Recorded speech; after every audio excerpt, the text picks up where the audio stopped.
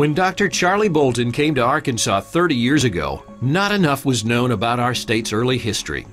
As he discovered documents that no one had ever explored, he began piecing together the secrets of early territorial Arkansas. What had been written had a kind of negative quality. It was, uh, you know, sort of the Arkansas traveler kind of thing, that this uh, early Arkansas was a wild and maybe barbaric place and uh, nothing very productive was going on.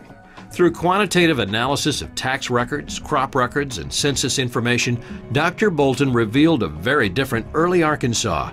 It was a place of prosperity with a surprising amount of economic activity.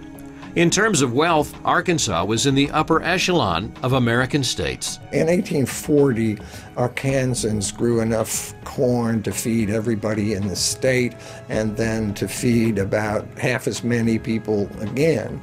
I mean, we had more hogs, more horses than on average than Missouri or Mississippi.